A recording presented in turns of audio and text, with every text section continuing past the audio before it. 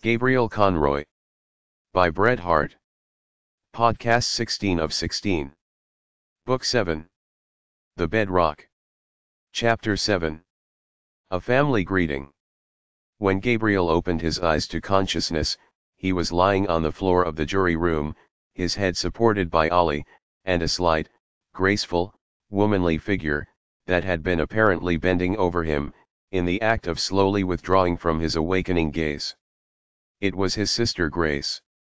Dar, you're better now, said Ollie, taking her brother's hand, and quietly ignoring her sister, on whom Gabriel's eyes were still fixed.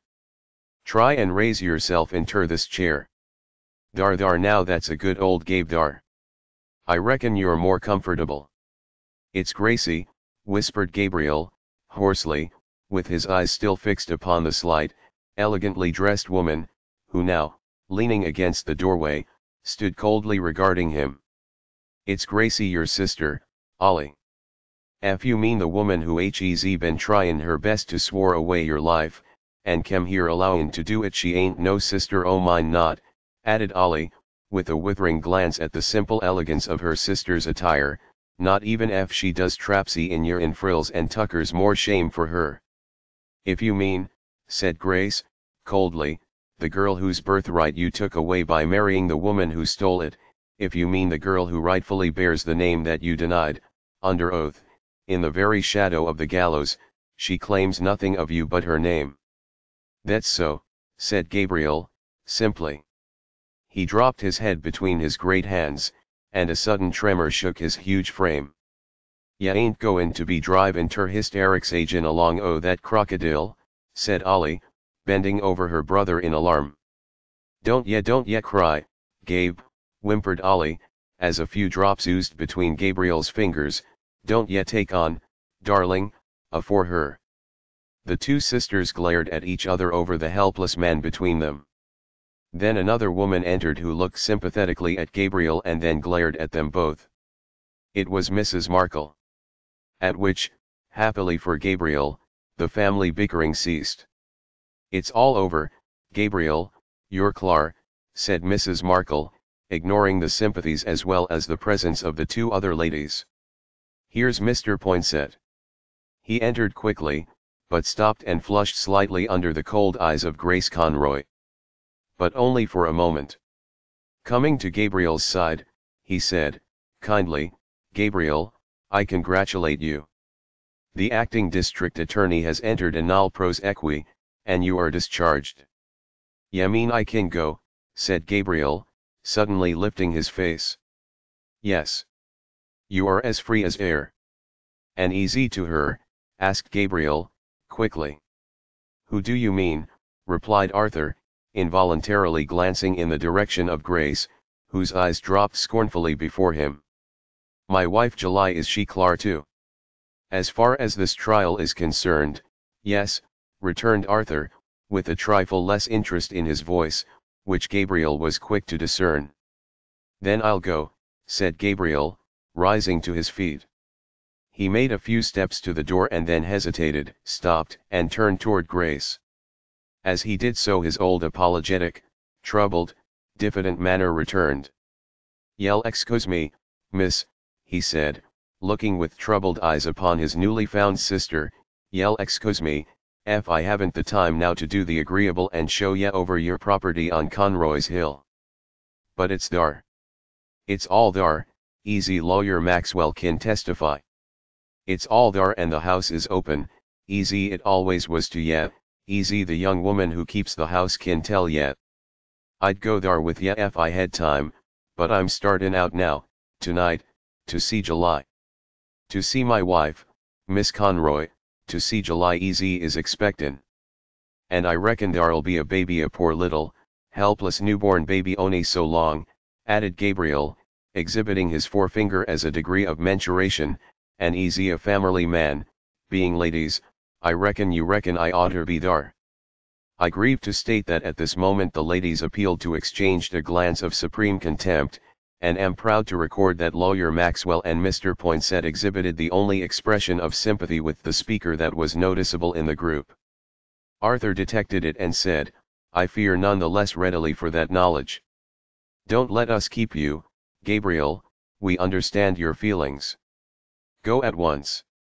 Take me along, Gabe, said Ollie, flashing her eyes at her sister, and then turning to Gabriel with a quivering upper lip. Gabriel turned, swooped his tremendous arm around Ollie, lifted her bodily off her feet, and saying, You're my own little girl, vanished through the doorway. This movement reduced the group to Mrs. Markle and Grace Conroy, confronted by Mr. Poinsett and Maxwell. Mrs. Markle relieved an embarrassing silence by stepping forward and taking the arm of lawyer Maxwell and leading him away. Arthur and Grace were left alone. For the first time in his life Arthur lost his readiness and self-command. He glanced awkwardly at the woman before him, and felt that neither conventional courtesy nor vague sentimental recollection would be effective here. I am waiting for my maid, said Grace, coldly, if, as you return to the courtroom, you will send her here, you will oblige me. Arthur bowed confusedly. Your maid. Yes, you know her, I think, Mr. Poinsett, continued Grace, lifting her arched brows with cold surprise. Manuela. Arthur turned pale and red. He was conscious of being not only awkward but ridiculous. Pardon me perhaps I am troubling you I will go myself, said Grace, contemptuously. One moment, Miss Conroy, said Arthur, instinctively stepping before her as she moved as if to pass him, one moment, I beg. He paused, and then said, with less deliberation and more impulsively than had been his habit for the last six years, you will, perhaps, be more forgiving to your brother if you know that I, who have had the pleasure of meeting you since you were lost to us all I, who have not had his preoccupation of interest in another even I, have been as blind, as foolish, as seemingly heartless as he. You will remember this, Miss Conroy I hope quite as much for its implied compliment to your complete disguise, and an evidence of the success of your own endeavors to obliterate your identity, as for its being an excuse for your brother's conduct, if not for my own. I did not know you. Grace Conroy paused and raised her dark eyes to his. You spoke of my brother's preoccupation with with the woman for whom he would have sacrificed anything me his very life. I can I am a woman I can understand that. You have forgotten, Don Arturo, you have forgotten pardon me I am not finding fault it is not for me to find fault but you have forgotten Donna Maria Sepulveda. She swept by him with a rustle of silk and lace, and was gone. His heart gave a sudden bound, he was about to follow her, when he was met at the door by the expanding bosom of Colonel Starbottle. Permit me, sir, as a gentleman, as a man of ERERER honor, to congratulate you, sir. When we ERER parted in San Francisco I did not think that I would have the ERER pleasure a rare pleasure to Colonel Starbottle, sir, in his private as well as his ERER public capacity, of ERER a public apology. Ged, sir. I have made it? Ged, sir. When I entered that nolle pros, I said to myself, star, this is an apology an apology, sir. But you are responsible, sir, you are responsible, star. Personally responsible. I thank you, said Arthur, abstractedly, still straining his eyes after the retreating figure of Grace Conroy, and trying to combat a sudden instinctive jealousy of the man before him, I thank you, Colonel, on behalf of my client and myself. Ged, sir, said Colonel Starbottle, blocking up the way, with a general expansiveness of demeanor, Ged, sir, this is not all. You will remember that our recent interview in San Francisco was regarding another and a different issue. That, sir, I am proud to say, the developments of evidence in this trial have honorably and ERER as a lawyer, I may say, have legally settled. With the ERER identification and legal ERER rehabilitation of Grace Conroy, that claim of my client falls to the ground. You may state to your client, Mr. Poinsett, that ERER upon my own personal responsibility I abandon the claim. Arthur Poinsett stopped and looked fixedly at the gallant colonel. Even in his sentimental preoccupation the professional habit triumphed. You withdraw Mrs. Dunphy's claim upon Mr. Dunphy, he said, slowly. Colonel Starbottle did not verbally reply, but that gallant warrior allowed the facial muscles on the left side of his face to relax so that one eye was partially closed. Yes, sir there is a matter of a few thousand dollars that ERER you understand, I am ERER personally responsible for. That will never be claimed, Colonel Starbottle, said Arthur, smiling, and I am only echoing, I am sure, the sentiments of the man most concerned, who is approaching us Mr. Dunphy. Chapter 8 In which the footprints return. Mr. Jack Hamlin was in very bad case. When Dr. Duchesne, who had been summoned from Sacramento, arrived, that eminent surgeon had instantly assumed such lightheartedness and levity toward his patient, such captiousness toward Pete, with an occasional seriousness of demeanor when he was alone, that, to those who knew him, it was equal to an unfavorable prognosis. Indeed, he evaded the direct questioning of Ollie, who had lately constituted herself a wondrously light-footed, soft-handed assistant of Pete, until one day, when they were alone, he asked more seriously than was his wont if Mr. Hamlin had ever spoken of his relations, or if she knew of any of his friends who were accessible. Ollie had already turned the subject over in her womanly mind, and had thought once or twice of writing to the Blue Moselle, but on the direct questioning of the doctor, and its peculiar significance, she recalled Jack's confidences on their midnight ride, and the Spanish beauty he had outlined, and so one evening, when she was alone with her patient, and the fever was low, and Jack lay ominously patient and submissive, she began what the doctor had only lately abandoned probing a half-healed wound. I reckon you'd hev been a heap more comfortable if this thing had happened to ye down there in San Antonio, said Ollie. Jack rolled his dark eyes wonderingly upon his fair persecutor. You know you'd hev had that dar sweetheart oh yours that Mexican woman sit in by ye, instead o me and Pete, suggested the artful Olympia. Jack nearly leaped from the bed. Do you reckon I'd hev rung myself in as a wandering cripple a tramp that had got peppered on a lady like her? Look here, Ollie, continued Mr. Hamlin, raising himself on his elbow, if you've got the idea that that woman is one of them hospital sharps one of them angels who waltz round a sick man with a bottle of camphor in one hand and a tract in the other you had better disabuse your mind of it at once, Miss Conroy, take a back seat and wait for a new deal. And don't you go to talkin' of that lady as my sweetheart it's it's sacrilegious and the meanest kind of a bluff. As the day of the trial drew near, Mr. Hamlin had expressed but little interest in it, and had evidently only withheld his general disgust of Gabriel's weakness from consideration of his sister. Once Mr. Hamlin condescended to explain his apparent coldness. There's a witness coming, Ollie, that'll clear your brother more shame for him the man easy did kill Ramirez. I'm keeping my sympathies for that chap. Don't you be alarmed.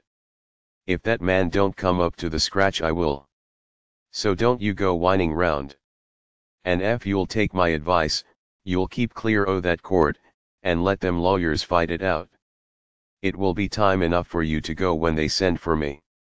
But you can't move you ain't strong enough, said Ollie. I reckon Pete will get me there some way, if he has to pack me on his back. I ain't a heavy weight now, said Jack, looking sadly at his thin white hands, I've reckoned on that, and even if I should pass in my checks, there's an affidavit already sworn to in Maxwell's hands.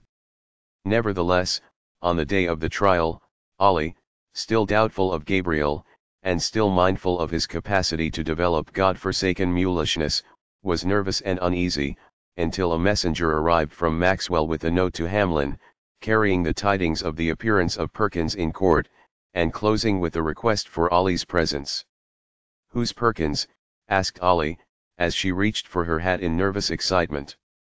He's no slouch, said Jack, sententiously. Don't ask questions. It's all right with Gabriel now, he added, assuringly. He's as good as clear. Run away, Miss Conroy. Hold up a minute. There, kiss me.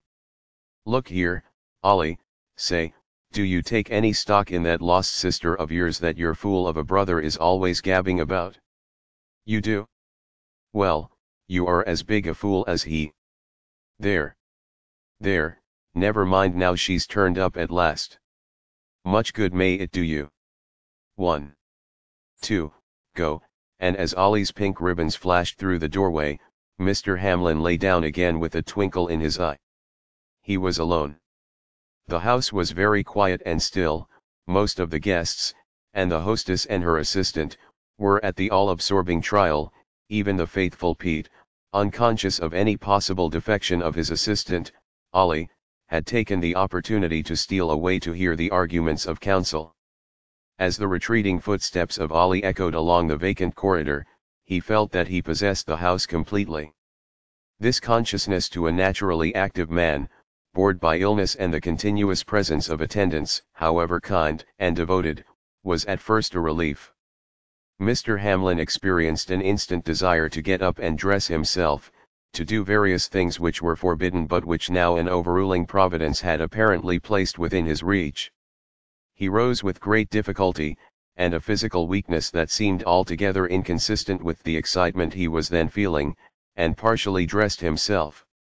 Then he was suddenly overtaken with great faintness and vertigo, and struggling to the open window, fell in a chair beside it.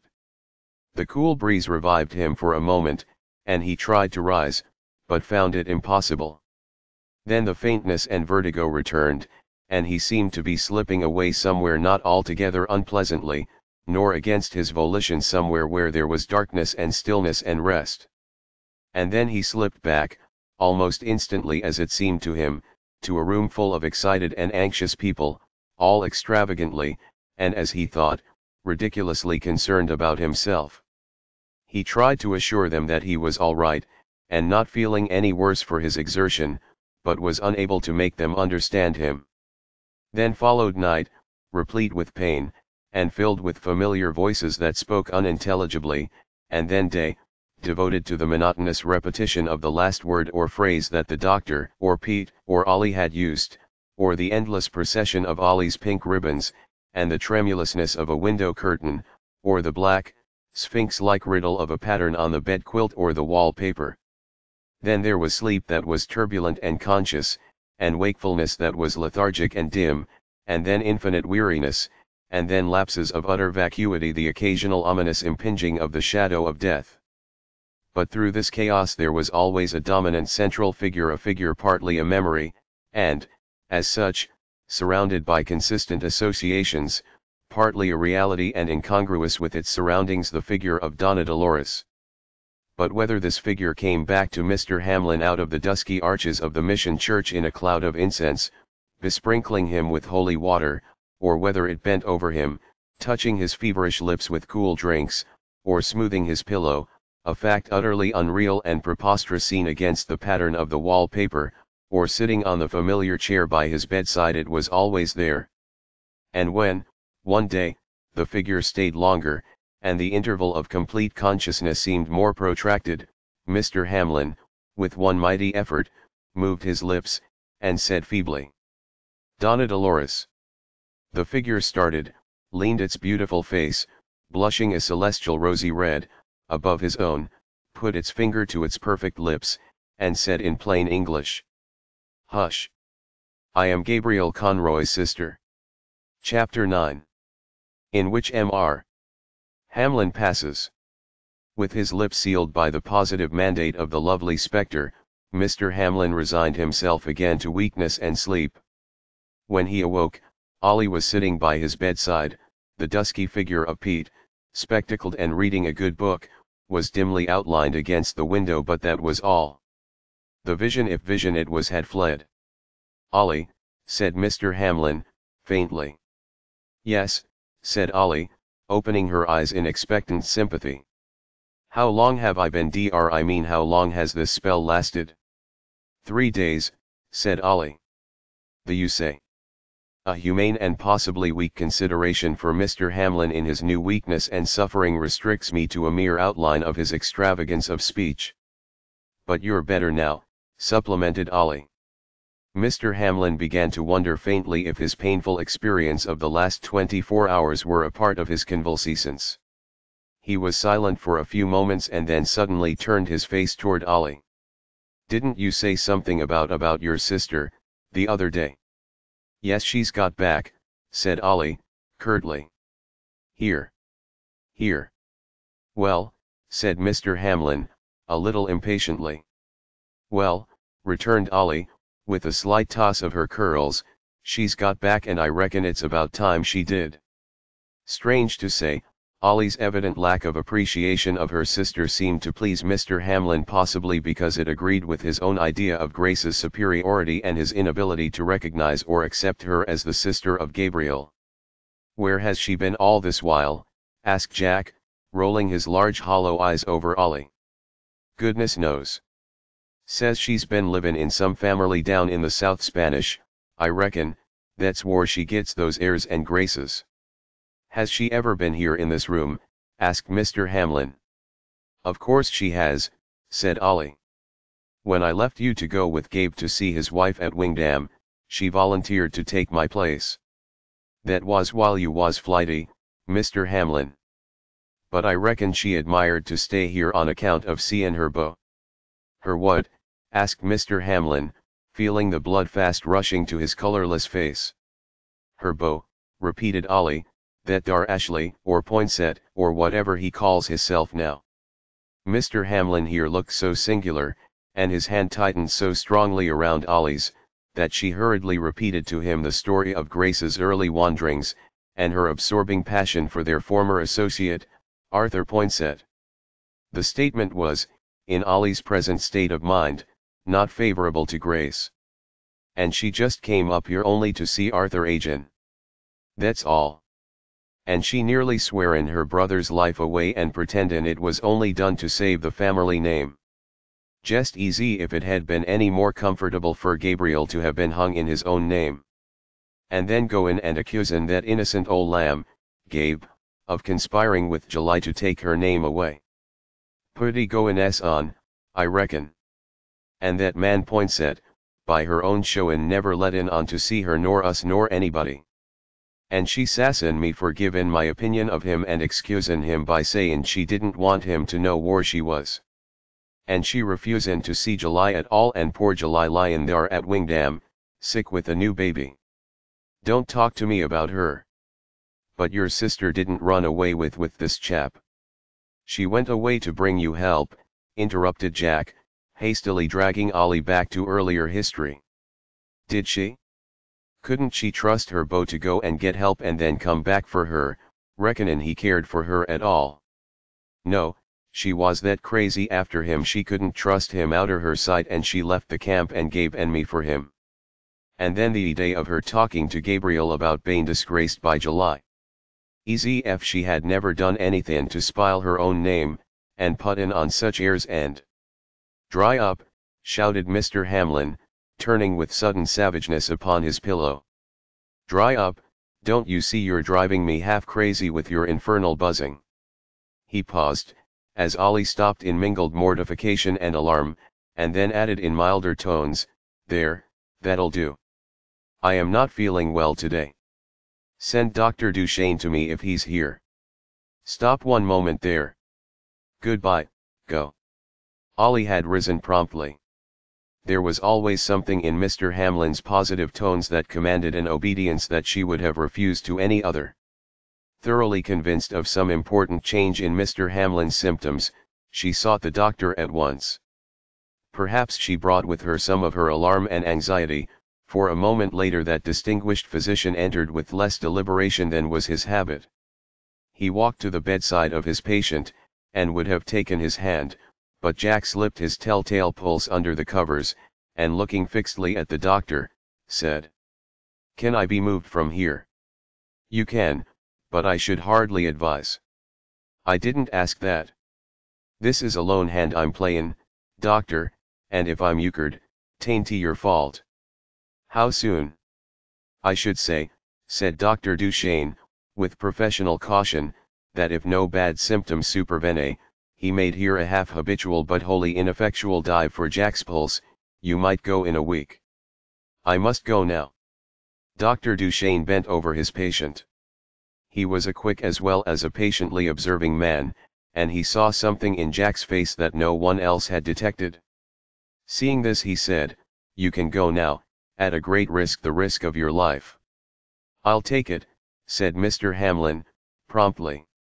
I been playin' agent odds, he added, with a faint but audacious smile, for the last six months, and it's no time to draw out now.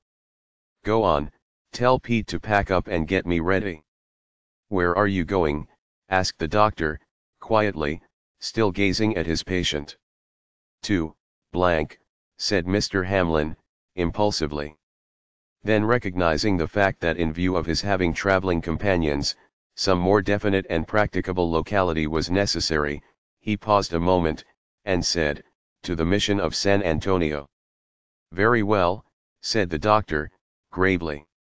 Strange to say, whether from the doctor's medication, or from the stimulus of some reserved vitality hitherto unsuspected, Mr. Hamlin from that moment rallied. The preparations for his departure were quickly made, and in a few hours he was ready for the road. I don't want to have anybody cacklin' around me, he said, in deprecation of any leave taking. I leave the board, they can go on with the game. Notwithstanding which, at the last moment, Gabriel hung awkwardly and heavily around the carriage in which the invalid was seated. I'd foller arter yet, Mr. Hamlin, in a buggy, he interpolated, in gentle deprecation of his unwieldy and difficult bulk, but I'm sorter kept here with my wife who is powerful weak along of a poor small baby about so long the same not bane a family man yourself, you don't kinder get the hang of. I thought it might please ye to know that I got bail yesterday for that Mr. Perkins easy didn't kill that dar Ramirez the same having killed hisself easy was fetched out on the trial, which I reckon ye didn't get to hear. I admire to see ye lookin' so well, Mr. Hamlin, and I'm glad Ollie's goin' with ye. I reckon Grace would hev gone too, but she's sorter scary about strangers, havin' been engaged these seven years to a young man by the name o' Poinsett Easy was one o' my counsel, and havin' lately had a row with the same one o' them lovers fights which bane a young man yourself, ye can kindly allow for. Drive on, imprecated Mr. Hamlin furiously to the driver, what are you waiting for, and with the whirling wheels Gabriel dropped off apologetically in a cloud of dust, and Mr. Hamlin sank back exhaustedly on the cushions. Notwithstanding, as he increased his distance from one horse gulch, his spirits seemed to rise, and by the time they had reached San Antonio he had recovered his old audacity and dash of manner, and raised the highest hopes in the breast of everybody but his doctor. Yet that gentleman, after a careful examination of his patient one night, said privately to Pete, I think this exaltation will last about three days longer. I am going to San Francisco. At the end of that time I shall return unless you telegraph to me before that. He parted gaily from his patient, and seriously from everybody else. Before he left he sought out Padre Felipe. I have a patient here, in a critical condition, said the doctor, the hotel is no place for him. Is there any family here any house that will receive him under your advice for a week? At the end of that time he will be better, or beyond our ministration. He is not a Protestant he is nothing. You have had experience with the heathen, Father Felipe. Father Felipe looked at Dr. Duchesne. The doctor's well-earned professional fame had penetrated even San Antonio, the doctor's insight and intelligence were visible in his manner, and touched the Jesuit instantly.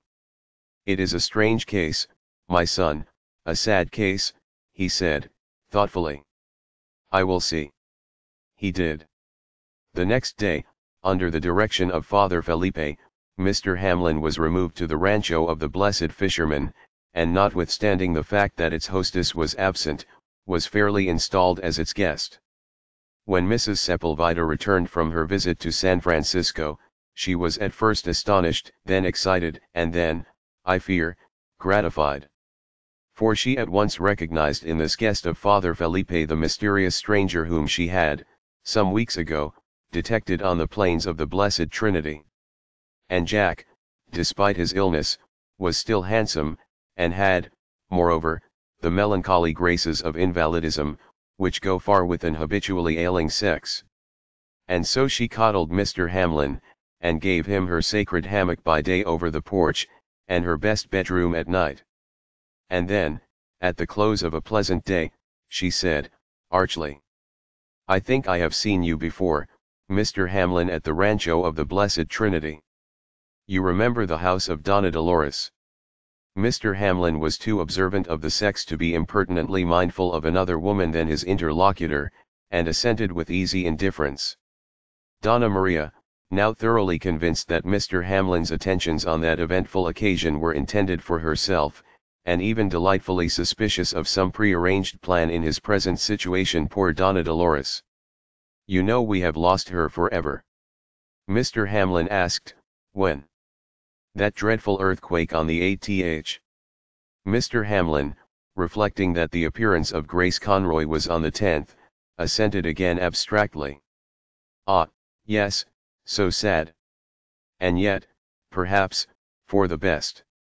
You know the poor girl had a hopeless passion for her legal adviser the famous Arthur Poinsett. Ah! You did not? Well, perhaps it was only merciful that she died before she knew how insincere that man's attentions were. You are a believer in special providences, Mr. Hamlin. Mr. Hamlin, doubtfully you mean a run of luck. Donna Maria, rapidly, ignoring Mr. Hamlin's illustration well, perhaps I have reason to say so. Poor Donna Dolores was my friend. Yet, would you believe there were people you know how ridiculous is the gossip of a town like this there are people who believed that he was paying attention to me. Mrs. Sepulveda hung her head archly. There was a long pause. Then Mr. Hamlin called faintly. Pete. Yes, Mars Jack.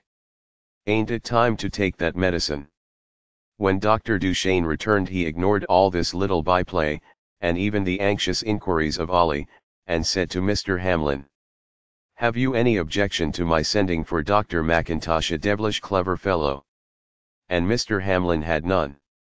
And so, after a private telegram, Dr. McIntosh arrived, and for three or four hours the two doctors talked in an apparently unintelligible language, chiefly about a person whom Mr. Hamlin was satisfied did not exist. And when Dr. McIntosh left, Dr. Duchesne, after a very earnest conversation with him on their way to the stage office, drew a chair beside Mr. Hamlin's bed. Jack. Yes, sir. Have you got everything fixed all right? Yes, sir. Jack. Yes, sir. You've made Pete very happy this morning. Jack looked up at Dr. Duchesne's critical face, and the doctor went on gravely confessing religion to him saying you believed as he did. A faint laugh glimmered in the dark hollows of Jack's eyes. The old man, he said, explanatory, has been preachin' mighty heavy at me ever since t other doctor came, and I reckoned it might please him to allow that everything he said was so. You see the old man's been right soft on me, and between us, doctor, I ain't much to give him in exchange. It's no square game. Then you believe you're going to die, said the doctor, gravely. I reckon. And you have no directions to give me. There's a black hound at Sacramento Jim Briggs, who borrowed and never gave back my silver-mounted derringers, that I reckon to give to you. Tell him he'd better give them up or I'll. Jack, interrupted Dr. Duchesne, with infinite gentleness, laying his hand on the invalid's arm, you must not think of me. Jack pressed his friend's hand. There's my diamond pin up the spout at Wingdam, and the money gone to lawyer Maxwell to pay witnesses for that old fool Gabriel. And then when Gabriel and me was escaping I happened to strike the very man, Perkins, who was Gabriel's principal witness, and he was dead broke, and I had to give him my solitaire ring to help him get away and be on hand for Gabriel. And Ollie's got my gold specimen to be made into a mug for that cub of that old she-tiger Gabriel's woman that Madame Devarges. And my watch who has got my watch, said Mr. Hamlin, reflectively.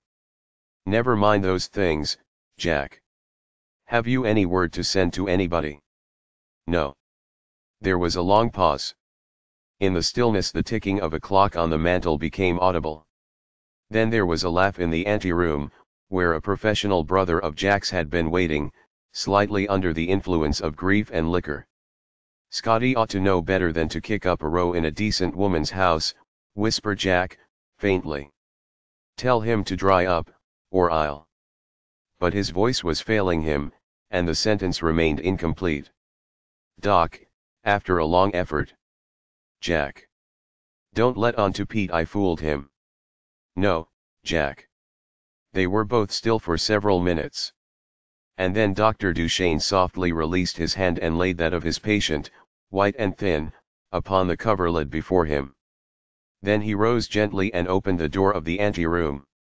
Two or three eager faces confronted him. Pete, he said, gravely, I want Pete no one else. The old negro entered with a trembling step. And then catching sight of the white face on the pillow, he uttered one cry a cry replete with all the hysterical pathos of his race, and ran and dropped on his knees beside it. And then the black and the white face were near together, and both were wet with tears. Dr. Duchesne stepped forward and would have laid his hand gently upon the old servant's shoulder. But he stopped, for suddenly both of the black hands were lifted wildly in the air, and the black face with rapt eyeballs turned toward the ceiling, as if they had caught sight of the steadfast blue beyond. Perhaps they had. O de Lord God, whose precious blood washes de black sheep and de white sheep all de one color. O de Lamb O be God. Sabe, sabe dispor, dispor boy. O Lord God, for my sake. O de Lord God, thou knowst fo 20 years Pete, old Pete, has walked in dy ways has found de Lord and him crucified, and has been dy servant. O de Lord God O de breast Lord, if it's all de same to you, let all dat go fo out. Let ol Pete go. And send down dy mercy and forgiveness fo him. Chapter 10 In the old cabin again. There was little difficulty in establishing the validity of Grace Conroy's claim to the Conroy grant under the bequest of Dr. Devarges. Her identity was confirmed by Mr. Dumphy none the less readily that it relieved him of a distressing doubt about the late Mrs. Dumphy, and did not affect his claim to the mineral discovery which he had purchased from Gabriel and his wife. It was true that since the dropping of the lead the mine had been virtually abandoned, and was comparatively of little market value. But Mr. Dumphy still clung to the hope that the missing lead would be discovered. He was right. It was some weeks after the death of Mr. Hamlin that Gabriel and Ollie stood again beneath the dismantled roof tree and bare walls of his old cabin on Conroy Hill. But the visit this time was not one of confidential disclosure nor lonely contemplation, but with a practical view of determining whether this first home of the brother and sister could be repaired and made habitable, for Gabriel had steadily refused the solicitations of Grace that he should occupy his more recent mansion. Mrs. Conroy and infant were at the hotel. Dar, Ollie, said Gabriel, I reckon that a cartload o' boards and a few days' work with willin' hands, will put that dar shanty back agin easy it used to be when you and me was child childun. Yes, said Ollie, abstractedly. We've had good times here, Ollie, you and me. Yes, said Ollie, with eyes still afar. Gabriel looked down a great way on his sister, and then suddenly took her hand and sat down upon the doorstep, drawing her between his knees after the old fashion. Ya ain't hearkenin' to me, Ollie dear.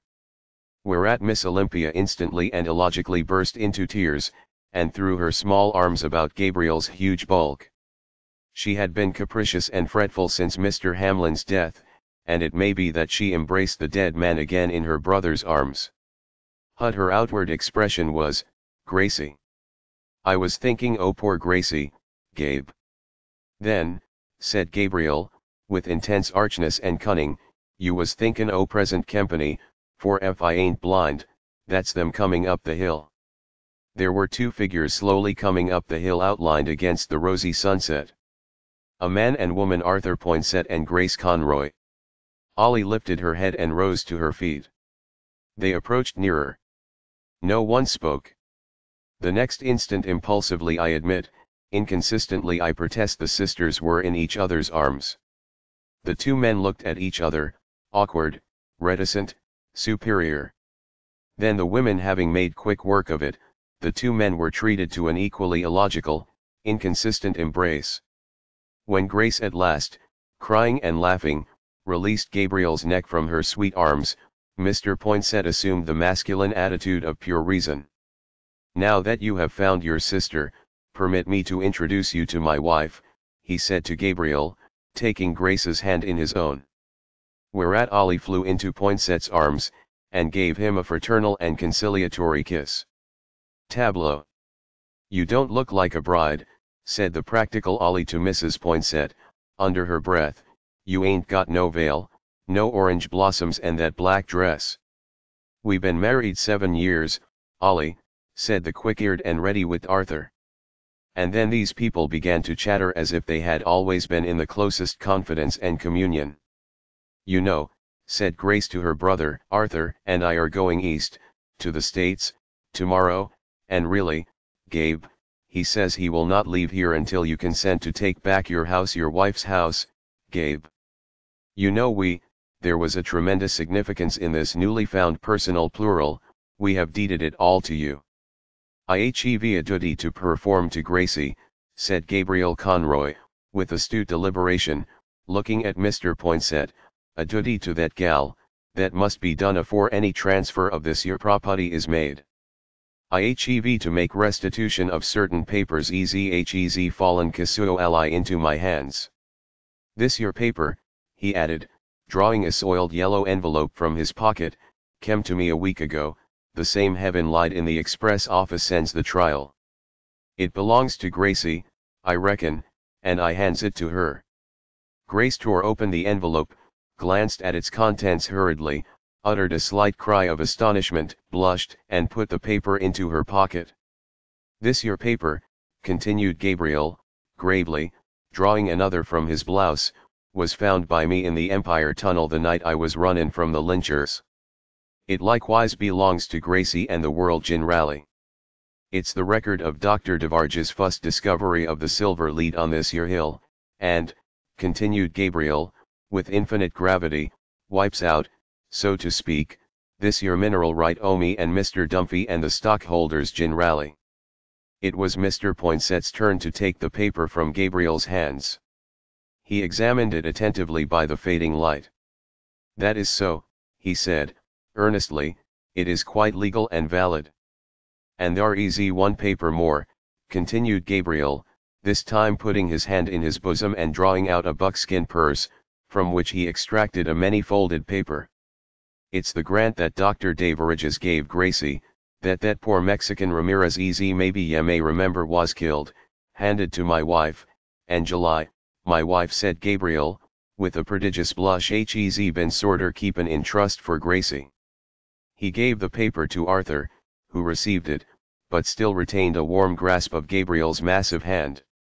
And now, added Gabriel, it's gettin' late, and I reckon it's about the square thing if we'd adjourn this your meeting to the hotel, and easy you're goin' away, maybe ye'd make a partin' visit with your wife, forgettin' and forgivin' like, to Mrs. Conroy and the baby a poor little thing that ye wouldn't believe it, Mr. Poinsett, looks like me. But Ollie and Grace had drawn aside, and were in the midst of an animated conversation. And Grace was saying. So I took the stone from the fire, just as I take this, she picked up a fragment of the crumbling chimney before her, it looked black and burnt just like this, and I rubbed it hard on the blanket so, and it shone, just like silver, and Dr. Devarges said. We are going, Grace, interrupted her husband, we are going to see Gabriel's wife. Grace hesitated a moment, but as her husband took her arm he slightly pressed it with a certain matrimonial caution, whereupon with a quick impulsive gesture, Grace held out her hand to Ollie, and the three gaily followed the bowed figure of Gabriel, as he strode through the darkening woods. Chapter 11 The Return of a Footprint I regret that no detailed account of the reconciliatory visit to Mrs. Conroy has been handed down, and I only gather a hint of it from after comments of the actors themselves. When the last words of parting had been said, and Grace and Arthur had taken their seats in the Wingdam coach, Gabriel bent over his wife's bedside. It kinder seemed easy if you and Mr. Poinsett recognized each other at first, July, said Gabriel. I have seen him before not here. I don't think he'll ever trouble us much, Gabriel, said Mrs. Conroy, with a certain triumphant lighting of the cold fires of her grey eyes. But look at the baby. He's laughing. He knows you, I declare. And in Gabriel's rapt astonishment at this unprecedented display of intelligence in one so young, the subject was dropped. Why, where did you ever see Mrs. Conroy before, asked Grace of her husband, when they had reached Wingdam that night. I never saw Mrs. Conroy before, returned Arthur, with legal precision. I met a lady in St. Louis years ago under another name, who, I dare say, is now your brother's wife. But I think, Grace the less we see of her the better. Why? By the way, darling, what was that paper that Gabriel gave you? asked Arthur, lightly, avoiding the previous question. Grace drew the paper from her pocket, blushed slightly, kissed her husband, and then putting her arms around his neck, laid her face in his breast, while he read aloud, in Spanish, the following. This is to give trustworthy statement that on the 18th of May, 1848, a young girl, calling herself Grace Conroy, sought shelter and aid at the Presidio of San Geronimo. Being friendless but of the BVM and the saints I adopted her as my daughter, with the name of Dolores Salvatierra. Six months after her arrival, on the 12th of November, 1848, she was delivered of a dead child, the son of her affianced husband, one Philip Ashley. Wishing to keep her secret from the world and to prevent recognition by the members of her own race and family, by the assistance and advice of an Indian peon, Manuela, she consented that her face and hands should be daily washed by the juice of the yakuto whose effect is to change the skin to the color of bronze. With this metamorphosis she became known, by my advice and consent, as the daughter of the Indian Princess Nikita and myself and as such I have recognized in due form her legal right in the appointment of my estate. Given at the Presidio of San Geronimo, this first day of December, 1848. Juan Hermenegildo Salvatierra. But how did Gabriel get this, asked Arthur. I don't know, said Grace. To whom did you give it? To Padre Felipe. Oh, I see, said Arthur. Then you are Mr. Dumphy's long-lost wife. I don't know what Father Felipe did, said Grace, tossing her head slightly. I put the matter in his hands. The whole story. I said nothing about you you great goose. Arthur kissed her by way of acknowledging the justice of the epithet. But I ought to have told Mrs. Sepulveda the whole story when she said you proposed to her. You're sure you didn't, continued Grace, looking into her husband's eyes. Never, said the admirable young man, promptly. Chapter 12 Fragment of a letter from Olympia Conroy to Grace Poinsett. The baby is doing well. And only think Gabe has struck it again. And you was the cause, dear and he says it all belongs to you like the old mule that he is. Don't you remember when you was telling me about Dr. Devarges's giving you that rock and how you rubbed it until the silver shone, well, you took up a rock from our old chimbley and rubbed it, while you was telling it. And that rock Gabe came across next morning, all shining where you had rubbed it. And sure enough it was solid silver. And then Gabe says, says he, we've struck it agin, for the Chimbley rock was taken from the first hole I dug on the hill only a hundred feet from here. And sure enough, yesterday he perspected the hole and found the lead agent and we are all very rich agent and come in to see you next year, only that Gabe is such a fool. Your loving sister. Olympia Conroy.